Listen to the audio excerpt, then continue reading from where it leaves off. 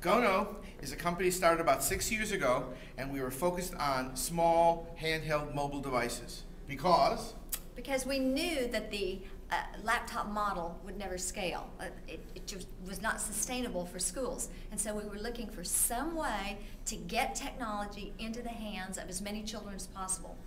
Mm-hmm. And that was, at that point, was the Palm Pilot. And as we've seen over the last few years, it's changed, and now it's the cell phone. And what this conference is all about is trying to understand what's going to happen over the next three to five years as literally every kid, not only in the United States, but in the world, is having a cell phone.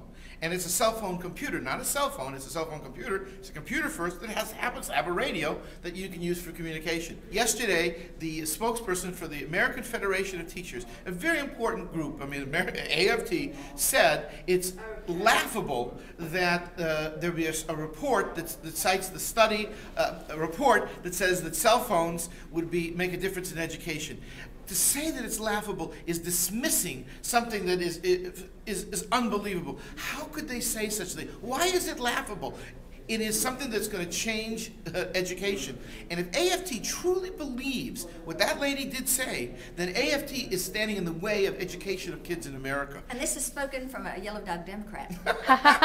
I am a union person, right? Thank you very much. I'm a union just- man. I just Yep. wanted to clarify. good to That's know. I'm a union person, but they were. It's so wrong-headed. And there's this uh, another gentleman said, "I'd like to see uh, uh, if cell phones can help kids uh, learn how to write better." Well, the kids aren't writing now. I mean, for God's sakes, they're going to write with the cell phone. They're going to write better with the cell phone than they do on paper, paper and pencil. You know, there's statistics that say, oh, there's wireless in every school. What that means is there's one teacher who has a laptop, and her laptop works wirelessly, and there's one of those in each classroom. That's fine. But when you start giving wireless devices to 35 students in this classroom, and the one next to it, and the one next to it, and the three above it, it is a completely different issue. Trying to put in and maintain a wireless network like that is almost impossible for most schools.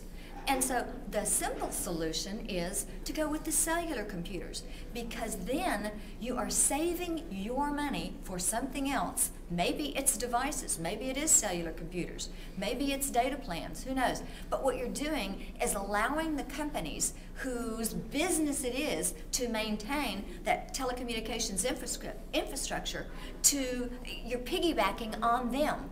Use their infrastructure, save your money for something else that benefits your students, and use theirs.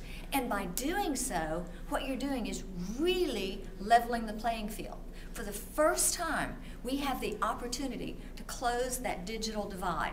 Because when those children go home at night, whether they go home to the homeless shelter or whether they go home to suburbia, each one of them is going home with a device that will allow them to access the same internet 24 7.